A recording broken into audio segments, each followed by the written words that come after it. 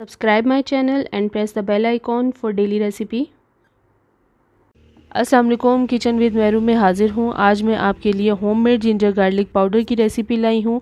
बिल्कुल मुश्किल नहीं है इसे बनाना बासानी इसे आप अपने खानों में इस्तेमाल कर सकते हैं। साफ़ सुथरा जिंजर गार्लिक पाउडर आप घर पर तैयार कर सकते हैं और इसे एयर टाइट कंटेनर में रखकर चार माह तक आराम से इस्तेमाल कर सकते हैं।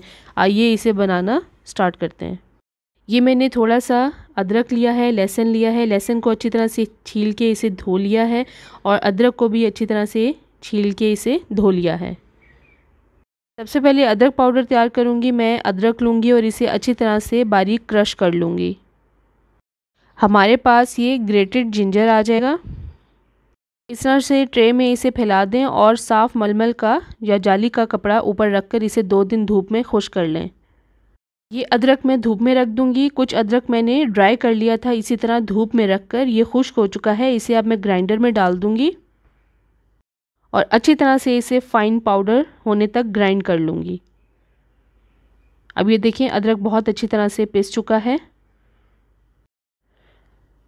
अब ये पाउडर फॉर्म में आ गया है। इसे अब मैं अलग प्लेट में अच्छी तरह से छान लूँगी। इस तरह से इसे छान लें। और इसको आप फेंक दें हमारे पास ज़बरदस्त किस्म का अदरक पाउडर तैयार है। इसी तरह मैं लहसुन पाउडर बनाऊँगी। लहसुन को अच्छी तरह से धो के इसे ग्राइंडर में डाल दें और या चॉपर में डाल दें। मोटा इसे चॉप कर लें। इस तरह से मोटा मोटा इसे चॉप करके ट्रे में फैला दें और इसे एक या दो दिन तक धूप में खुश्क होने तक रखें।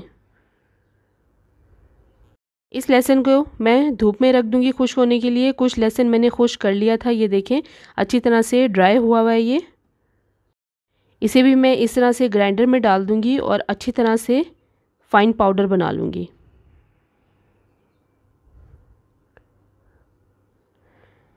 अब ये देखें लहसुन पाउडर बिल्कुल तैयार है।